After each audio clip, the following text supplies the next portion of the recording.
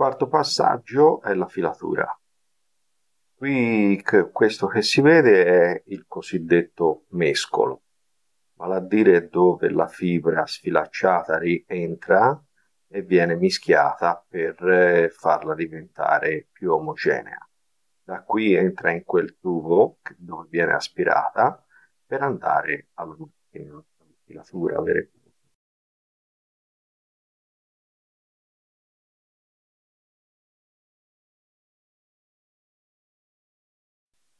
Qui è dove la fibra inizia a essere lavorata. Viene, entra in queste macchine dove viene realizzato il, il feltrino, questa specie di pelo di fibra che viene disteso e dopodiché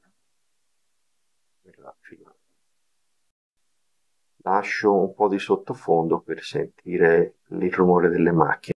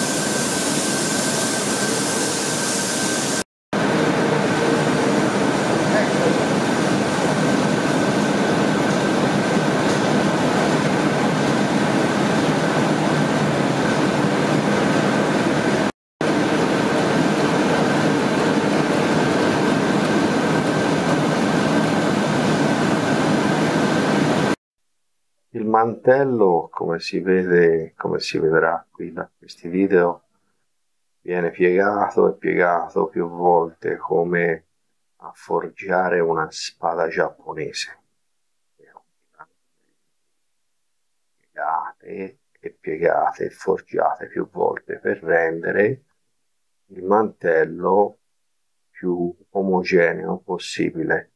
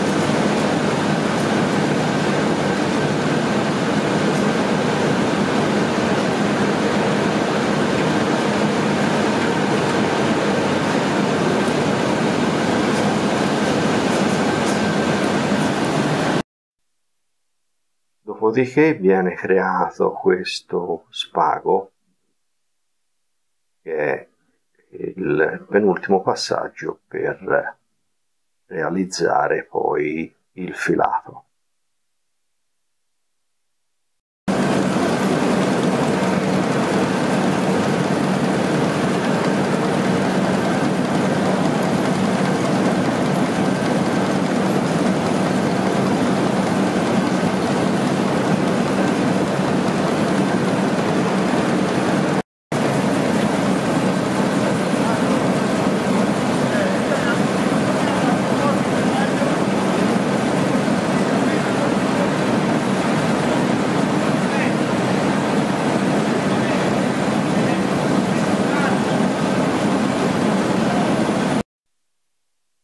Qui viene finalmente realizzato il filato. Il, eh,